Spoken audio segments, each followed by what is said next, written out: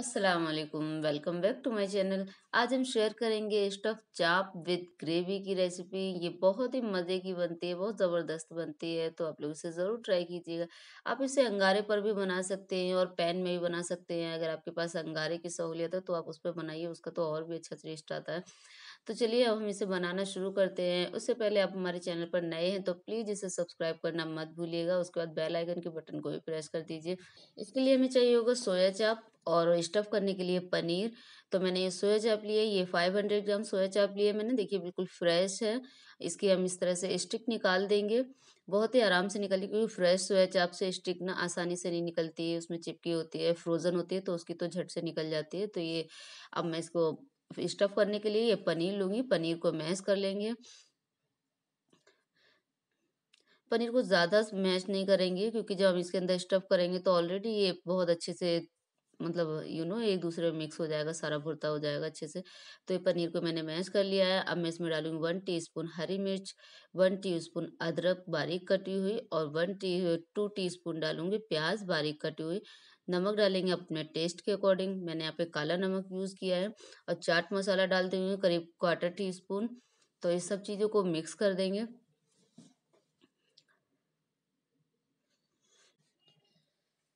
ये मैंने मिक्स कर लिया है। अब चलिए सोया चाप लेते हैं और उसको हम स्टफ़ करते हैं। ये देखिए, सारे सोया चाप के मैंने स्टिक निकाल दिए हैं। अब मैं आपको ये फिल करके दिखाती हूँ। फिलिंग करने में ना थोड़ा सा टाइम ज़रूर लगता है, लेकिन डिश जो है ना एकदम ज़बरदस्त बनकर तैयार होती है। जो भी खाएगा ना इसको आप जिसके लिए भी बनाएँगे, जो भी खाएगा, वो आपको बहुत बहुत बहुत ज़्यादा आपकी तारीफ़ करेगा। बहुत मज़े की बन जाती है। मुझे भी बहुत अच्छी लगती है ये डिश। तो मैं जब नहीं तब इसे बनाती रहती हूँ। तो आप देखेंगे जब आप इसको फिल कर रहे होंगे तो आप इसे उंगली से देख रहे हैं, मैं उंगली से कर रही हूँ, कभी अंगूठे से कर देती हूँ। तो जब तक ये अंदर जाता रहेगा, आप इसको फिल करते रहिएगा, जब ये अंदर जाना बंद कर दे तो समझ लीजिएगा कि अंदर से पूरा फिल हो चुका है। ये देखिए पूरा अंदर से फिल हो चुका है तो मैंने अब इसके जो ऊपर से मुँह है इसका, वो बंद कर दूँगी। और आप देखेंगे नीचे से दबाएँगे, पूरा टाइट हो जाता है, जब ये फिल हो जाता है पूरा तो टाइट हो जाता है। तो अब मैंने इसको फिल कर दिया है, इसको मैं बंद करने के लिए टूथपिक लूँगी। टूथपिक से अच्छी तरह से बंद हो जाता है, जब हम इसे मैरिनेट करेंगे या फिर इसको हम जब पकाएँगे तो ये खुलेगा नहीं। तो ये मैंने फिल कर लिया है, मैं आपको एक और तरीका बताती हूँ फिलिंग करने का। इसके लिए देखिए, मैंने ये सोया चाप लिए है। इसको हम क्या करेंगे? अंगूठे की मदद से देखेंगे कितने आराम से खुल रही है ये। परत बाय परत यूँ ही खुलती चली जाएगी। अगर फ्रेश लेंगे तो ही खुलेगी, अगर आपकी फ्रोज़न है तो ये इस तरह से नहीं खुलती है। अगर आपको ये तरीका आसान लगता है तो आप इस तरीके से बना लीजिएगा। लेकिन ऐसे में ना मुझे इसलिए नहीं ज़्यादा अच्छा लगता क्योंकि इसकी सेप प्रॉपर नहीं रहती है सेप बिगड़ जाती है और मुझे ये वाला इसीलिए ज़्यादा अच्छा नहीं लगता है। लेकिन आपको अगर पसंद है, आप इस तरह से बना सकते हैं, आपको अच्छा लगता है, आसानी रहती है तो आप इस तरह से भी बना लीजिएगा। तो देखिए, मैंने इसको भी फिल कर दिया और इसको भी हम टूथपिक से बंद करेंगे ताकि ये भी खुले नहीं। इसी तरह से मैं सारी फिल कर लूँगी। फिर मैं आपको दिखाती हूँ। ये मैंने सारी तैयार कर ली हैं तो अब देखेंगे थोड़ी सी स्टफिंग बच गई है, इसे हम ग्रेवी बनाने में यूज़ कर लेंगे। ये देखिए, मैं आपको पास से दिखा रही हूँ। अब इसको साइड रख देंगे और इसका मैरिनेशन तैयार करेंगे। तो उसके लिए मैं लूँगी एक बड़ा सा बाउल और उसमें लेंगे हम टू टेबल स्पून दही और टू टेबल स्पून लूँगी मैं फ्रेश क्रीम क्रीम आप कोई भी यूज़ कर सकती हैं, जो भी आपके पास हो हो वो यूज़ कर सकते हैं। तो ये मैंने क्रीम ले ली है और अब मैंने इसमें डाला है हाफ़ टी स्पून काली मिर्च का powder, half tea spoon roasted जीरा पाउडर और हाफ़ टी स्पून डालूँगी मैं इसमें गरम मसाला और नमक आप अपने टेस्ट के अकॉर्डिंग डाल सकते हैं और करीब हाफ़ टी स्पून डाल दूँगी मैं इसमें चाट मसाला। या फिर आप स्किप भी कर सकते हैं चाट मसाले को। टू टी स्पून डालूँगी ऑयल, वन टी स्पून डाल दूँगी मैं लेमन जूस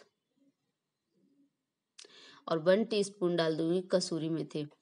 अब इन सभी चीज़ों को मिक्स कर लेंगे। ये मैंने मिक्स कर लिया है और आप देखिए कितनी अच्छी तरह से मिक्स हो गया है। तो अब हम इसमें सोया चाप को मैरिनेट करेंगे। इस सोया चाप को हम एक साथ इसमें नहीं डालूँगी, एक एक करके डालेंगे, क्योंकि अगर हम एक साथ डाल देंगे ना तो जो इसके अंदर फिलिंग हमने की है, वो खुल भी सकती है। तो इस वजह से हम एक एक करके इसमें ऐसे कोट कर लेंगे और प्लेट में निकालते जाएँगे वापस से। देखिए कितने अच्छे तरीके से कोट हो गया और इस तरह से मुझे लगता है ज़्यादा अच्छी तरह से कोट हो गया। अगर हम सारे एक साथ डाल देते तो अच्छे से कोट नहीं होता है, खुल भी सकते थे। तो मैंने यहाँ पर एक पैन लिया है। उस पैन में मैंने बटर डाल दिया था। गर्म हो गया है। अभी सारे पीसेस मैं एक एक करके इसमें लगा दूँगी। अगर आपके पास अंगारे हैं, आप अंगीठी भी बनाना चाहते हैं तो आप उस पर बना लीजिए। उस पर तो और भी अच्छा ज़बरदस्त टेस्ट आता है अंगारे के, अंगारे पर बनाने का। अगर आप पैन में ही बना रहे हैं और आप इसमें भी अंगारे का फ्लेवर देना चाहते हैं तो आप इसमें कोयला जलाकर रख दीजिएगा लास्ट में, ताकि वो अंगारे का फ्लेवर आ जाएगा उसमें। देखिए, करीब आठ से नौ मिनट के बाद मैंने इसको हाई हीट पर नहीं किया था, लो मीडियम फ्लेम पर किया था, हाई हीट पे कर दूँगी तो ये जलने लग जाते हैं और मुझे इसे जलाना नहीं है। हर तरफ़ से मुझे अच्छे से इसको गोल्डन कलर आने तक सेकना है। आप देखेंगे, जब आप इसे फ़र्स्ट टाइम जब फ्लिप करेंगे तो आप देखेंगे कि ये कितना सॉफ्ट हो रहा है, पकड़ने से ही लग रहा है कि ये कहीं से टूट ना जाए।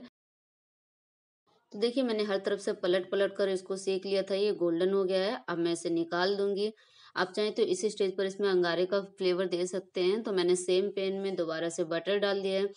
बटर को गर्म कर लिया है, अब इसमें मैं डाल दूँगी जो मेरा मैरिनेशन बच गया था। इसको वेस्ट नहीं करेंगे क्योंकि इसमें सारे फ्लेवर हैं। हमने मसाले जो भी डाले थे, सारा कुछ इसमें फ्लेवर आ रहा है। आप भी इसको यूज़ कर लीजिएगा वेस्ट नहीं करना है। अब इसको मिक्स कर दूँगी, करीब हल्का सा दो सेकंड के लिए मैं इसको भून भून लूँगी।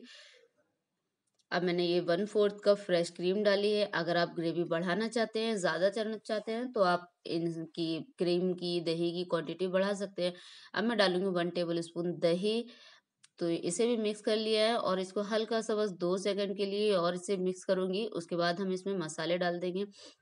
पहले तो देखिए मैंने ये पनीर जो हमने क्रश किया था उसमें फिलिंग के लिए वो बच गया था तो मैंने वो भी डाल दिया, उसको डालकर मिक्स कर लिया अब इसमें आप देखेंगे अपने टेस्ट के अकॉर्डिंग नमक डाल दीजिएगा। थोड़ी सी मैंने काली मिर्च का पाउडर डाला है। अगर आपको तीखा पसंद है तो आप इसके अंदर क्रश की हुई लाल मिर्च डाल सकते हैं या फिर बारीक कटी हुई हरी मिर्च भी डाल सकते हैं। अब देखिए ये ग्रेवी ऑलमोस्ट डन हो गई है। इसमें मैंने वन टीस्पून डाल दिया लेमन जूस इसको भी मिक्स कर देंगे और अब बस हल्का सा इसमें पाँच मिनट हमें बस उबाल लगाना है। अच्छे से उबाल आ जाए, पाँच मिनट भी नहीं लगेंगे। अच्छे से उबाल आ जाए ना, फिर हम गैस को ऑफ़ कर देंगे। ये देखिए, अच्छी तरह से उबाल आ चुका है तो अब गैस को ऑफ़ कर दूँगी। फिर मैं आपको प्लेटिंग करके दिखाती हूँ। तो मैंने देखिए सोया चाप लिया अभी मैंने साबुत रखे हुए हैं, इसके ऊपर हमने ग्रेवी जो बनाई थी वो डाल दी है। आप चाहें तो इसी के ग्रेवी के अंदर सोया चाप डाल सकते हैं, आप पीस करके डाल सकते हैं। हम लोग जब सर्व करेंगे, तब हम इसके पीस करके प्लेट में सर्व करूँगी मैं। अभी मैं आपको देखिए एक मैंने काट कर दिखा दिया है। देख सकते हैं कितना अच्छा लग रहा है, इसके अंदर फीलिंग भी है। बहुत ही ज़बरदस्त टेस्ट बनाया, आप इसे ज़रूर ट्राई कीजिए, आपको हमारी रेसिपी कैसी लगी, पसंद आए तो अपने फैमिली फ्रेंड्स को शेयर कीजिएगा और इसे लाइक करना मत भूलिएगा। तो फिर मिलेंगे आपसे नेक्स्ट वीडियो में। ओके बाय अल्लाह हाफिज़।